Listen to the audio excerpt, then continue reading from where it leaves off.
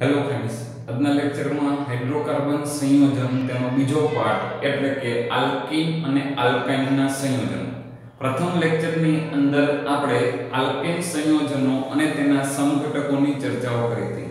જો તમે તે ન જોયેલો હોય તો પ્રથમ તે લેક્ચર જોઈ લેજો હવે તો કે આપણે આલ્કીન અને આલ્કાઇનની વાત કરીએ તો સૌથી પહેલા યાદ રાખીએ કે હાઇડ્રોકાર્બન સંયોજનો છે તે અંતર્ગત આલ્કીન અને આલ્કાઇન બંને અસંતૃપ્ત હાઇડ્રોકાર્બન સંયોજન કહેવાય. અસંતૃપ્ત હાઇડ્રોકાર્બન ક્યારે કહેવાય? તો કે જ્યારે કાર્બન અને કાર્બન પરમાણુ વચ્ચે દ્વિબંધ હોય અથવા તો કાર્બન અને કાર્બન પરમાણુ વચ્ચે ત્રિબંધ રહેલો હોય, તો આવા સંયોજનોને અસંતૃપ્ત હાઇડ્રોકાર્બન સંયોજનો કહેવાય. તો અસંતૃપ્ત હાઇડ્રોકાર્બન સંયોજનો અંતર્ગત આપણે આલ્કીન અને આલ્કેનનો અભ્યાસ કરીશું. સૌથી પહેલું યાદ રાખીએ કે આલ્કીનમાં ઓછામાં ઓછા કેટલા કાર્બન હોય બે કાર્બન. તો જ આવું સંયોજન શક્ય બને, એટલે બે કાર્બનમાં કાર્બન અને કાર્બન પરમાણુ વચ્ચે દ્વિબંધ હોય તો કાર્બનની આપણે સમજ્યાતા કે ચાર સંયોજકતા હોય. બે સંયોજકતા પૂરી થઈ જાય તો બાકીની જે બે સંયોજકતા હોય ત્યાં આગળ કોણ ગોઠવાશે તો કે હાઇડ્રોજન ગોઠવાય. તો બાકીની બે સંયોજકતાએ હાઇડ્રોજન ગોઠવો. તો આજે લખ્યું એને કહેવાય બંધારણીય સૂત્ર. જ્યારે અણુ સૂત્રની વાત કરો તો C2H4 એવું આપણે લખશું. એવી જ રીતે, કારણ કે આમાં એક કાર્બન વાળું સંયોજન તો શક્ય નથી, તો ઓછામાં ઓછા કેટલા કાર્બન એવા બે? આપણે આગળ જોયું હતું તેમાં આલ્કેનમાં બે કાર્બન હોય તો ઇથેન કીધું હતું. તો અહીંયા આગળ જ્યારે દ્વિબંધ હશે ત્યારે ઇન પ્રત્યય પાછળ લાગશે. ઇન પ્રત્યય એટલે ઇથેનમાં ઇથિન થઈ જશે કારણ કે ઇન પ્રત્યય લાગશે. એન પ્રત્યય દૂર થઈ ઇન પ્રત્યય લાગે. તો ઇથેનમાંથી એન પ્રત્યય દૂર થાય એટલે ઇથ થયું. અને એમાં ઇન પ્રત્યય ઉમેરી દો તો ઇથિન થઈ જશે એટલે કે આનું નામકરણ થઈ ગયું ઇથિન એવી જ રીતે માનો કે ત્રણ કાર્બનની વાત કરીએ તો ત્રણ કાર્બન છે. તે પૈકીનો કોઈ એક કાર્બન અન્ય કાર્બન સાથે દ્વિબંધ ધરાવે છે. અહીંયા પણ હોઈ શકે અથવા તો આ બાજુ પણ હોઈ શકે, એટલે કે બીજા ને ત્રીજા કાર્બન વચ્ચે પણ હોઈ શકે. હવે દરેક કાર્બન છે એની સંયોજકતા કેટલી હોય તો કે 4 હોય. અહીંયા બે સંયોજકતા પૂરી થઈ ગઈ તો બાકીની બે સંયોજકતાએ હાઇડ્રોજન ગોઠવાશે. બે સંયોજકતા, ત્રીજી સંયોજકતા કાર્બન સાથે પૂરી થઈ તો એક જ સંયોજકતા અહીંયા આગળ હાઇડ્રોજન ગોઠવાશે. આજે ત્રીજો કાર્બન છે, એની ઉપર વાત કરો તો એક સંયોજકતા પૂરી થઈ ગઈ, તો બાકીની ત્રણ સંયોજકતા હાઇડ્રોજન વડે પૂર્ણ થશે. જો તમે અહીં આગળ હાઇડ્રોજનની સંખ્યા ગણશો, તો તમને હાઇડ્રોજન છે, ટોટલ 6 જોવા મળશે 3 અને 3 એટલે કે 6 યાદ રાખીએ કે 3 કાર્બન વાળું જે આલ્કેન સંયોજન એટલે કે સંતૃપ્ત હાઇડ્રોકાર્બન સંયોજનમાં આપણે જોયું હતું, પ્રોપેન હતું. તો જ્યારે દ્વિબંધ બને છે, કાર્બન અને કાર્બન પરમાણુ વચ્ચે, તો એ સંયોજનને કહેવાય પ્રોપીન. એવી જ રીતે જો આપણે ચાર કાર્બનની વાત કરવા જઈશું, તો ચાર કાર્બનમાંથી કોઈ પણ બે કાર્બન વચ્ચે શું રહેલું હોય, તો કે દ્વિબંધ રહેલો હોય. તો અહીંયા આગળ પણ હોઈ શકે, અથવા તો વચ્ચે પણ હોઈ શકે, અથવા તો અહીંયા પણ હોઈ શકે. કોઈ પણ રીતે શક્યતા હોઈ શકે નહીં. બે સંયોજકતા પૂરી થાય છે તો બાકીની બંને સંયોજકતા હાઇડ્રોજન વડે બે અને એક ત્રણ સંયોજકતા પૂરી થઈ તો એક સંયોજકતા હાઇડ્રોજન વડે. બે સંયોજકતા પૂરી થઈ જશે તો બે હાઇડ્રોજન આવશે એક સંયોજકતા પૂરી એટલે કેટલા હાઇડ્રોજન લખવા પડે? ત્રણ. અહીં આગળ તમે વાત કરો તો પ્રથમ કાર્બન ઉપર તે શું રહેલું છે? તો કે દ્વિબંધ છે. અણુસૂત્ર હતું તે C4H8 થશે. ચાર કાર્બન હોય તો બ્યુટેન ઉપરથી બ્યુટીન લખાય. પરંતુ અહીં આગળ દ્વિબંધ છે, તેની શક્યતા રહેલી છે કે બીજા અને ત્રીજા કાર્બન વચ્ચે પણ હોઈ શકે. તો અહીંયા આગળ પ્રથમ કાર્બન ઉપર દ્વિબંધ હોવાથી એને કે બ્યુટ, કારણ કે આલ્કેનમાંથી બ્યુટ એન પ્રત્યે દૂર કરી અને ઇન પ્રત્યે લગાડે, પરંતુ ઇન પ્રત્યે કયા કાર્બન ઉપર આવે છે? તો કે પ્રથમ કાર્બન ઉપર, એટલે કે આને લખાય છે બ્યુટ 1 ઇન. એટલે કે IUPAC નામ છે બ્યુટ 1 ઇન. એ સાચું આપણું ગણાશે.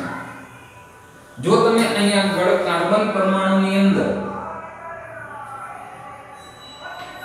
એ સંયોજનને આપણે અહીંયા આગળ જોઈએ, કાર્બન પરમાણુ, અન્ય કાર્બન પરમાણુની સાથે, તો કે બીજા કાર્બન ઉપર જો મળે દ્વિબંધ દર્શાવવો હશે.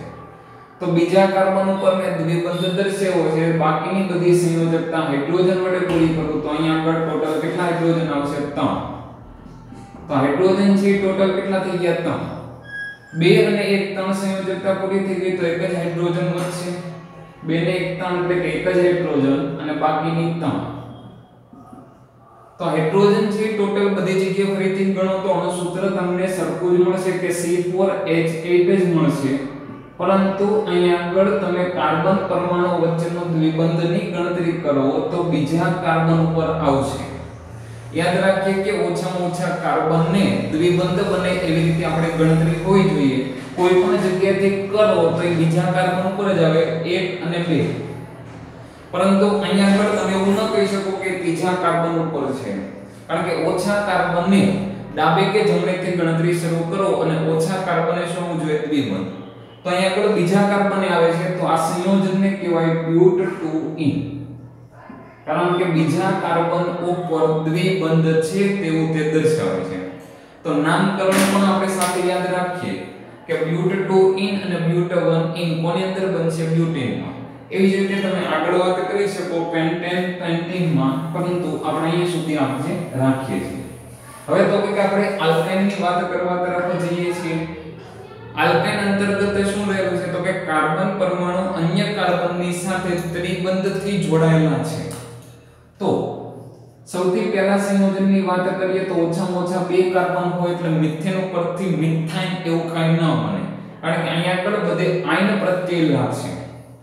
કાર્બન પરમાણુ અન્ય કાર્બન સાથે ત્રિબંધથી જોડાય છે. બાકીની બંને સંયોજકતાએ એક એક હાઇડ્રોજન મૂકી ગયો. તો બંનેની ચાર ચાર સંયોજકતા પૂરી થઈ ગઈ. આપણને જે અણુ સૂત્ર મળે છે તે કયું મળ્યું તો કે C2H2 વાત કરીએ તો બે કાર્બન એટલે ઇથેન ઇથેન ઉપરથી આયન પ્રત્યે લાગશે એમ પ્રત્યય દૂર થઈને તેનું નામકરણ થઈ ગયું ઇથાઇન આનું નામકરણ શું થઈ ગયું તો કે ઇથાઇન અથવા તો આને એસિટિલિન પણ કહેવામાં આવે છે, જે આપણે સામાન્ય નામકરણ અંતર્ગત આવશે.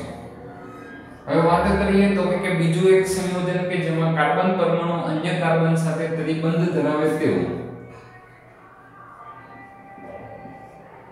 તો ત્રણ કાર્બન વાળું સંયોજન લઈએ છીએ, જેમાં પ્રત્યેક કાર્બનની ચાર સંયોજકતા પૂરી થવી જોઈએ તો કે અહીંયા આગળ એક હાઇડ્રોજન આવશે.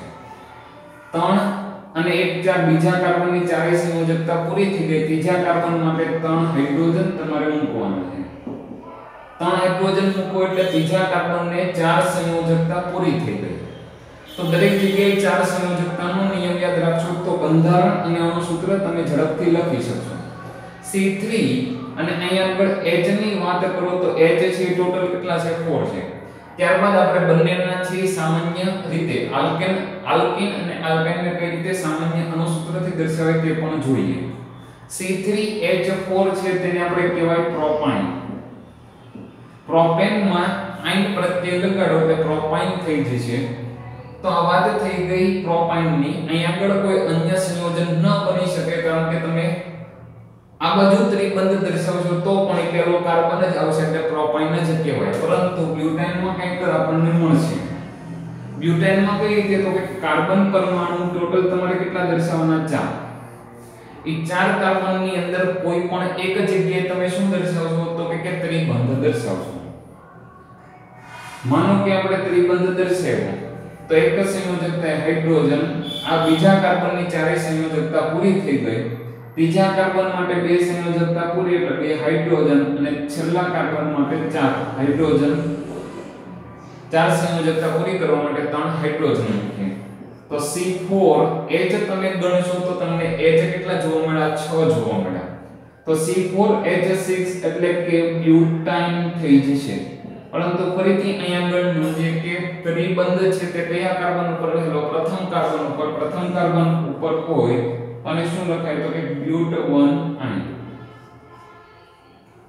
એવી જ રીતે જો બીજા કાર્બન ઉપર હોય તો બ્યુટ 2 આયન એવી રીતે આપણે દર્શાવી શકીએ. તો વાત કરી આલ્કીન અને આલ્કાઇનની હવે આપણે જોઈએ કે આલ્કીનનું સામાન્ય સૂત્ર શું બનશે? તો અહીંયા આગળ તમે જુઓ કે કાર્બન કેટલા વધે છે? 1 અને હાઇડ્રોજનમાં બે, એટલે કે CH2 નો જ વધારો છે, પરંતુ સામાન્ય સૂત્રમાં હાઇડ્રો, કાર્બન કરતા હાઇડ્રોજન કેવા છે? બધી જગ્યાએ ડબલ. તો આનું સામાન્ય સૂત્ર છે CnH2n કારણ કે કાર્બન હોય એની કરતા બે ગણા વધે છે. હવે અહીંયા આગળ જો આ જ નિયમ મુજબ ચાલીએ કે કાર્બન કરતા હાઇડ્રોજન તો કે જે છે નહીં, પછી તો કે કે 3 હતું તો 4 થઈ ગયું. તો શું કામ થયું? તો કે કે કાર્બનના ડબલમાંથી બે તમે બાદ કરો, એટલે બે દુ 4 4 માંથી બે જાય તો બે વધે. ત્રણ દુ છ છ માંથી બે બાદ કરો તો 4 4 તો 8 8 માંથી 2 બાદ કરો તો 6 તો આલ્કાઇન છે તેનું સામાન્ય અણુ સૂત્ર CnH2n અને -2 વડે દર્શાવાય. કારણ કે કાર્બન કરતા હાઇડ્રોજન છે ડબલમાંથી બે બાદ કરવા જેટલા મળે છે. તો આપણે આલ્કીન અને આલ્કાઇન સંયોજનો કઈ રીતે લખી શકાય છે તેની વિગતવાર ચર્ચાઓ કરી નેક્સ્ટમાં અન્ય સંયોજનો જોઈશું. જય હિન્દ, જય ભારત.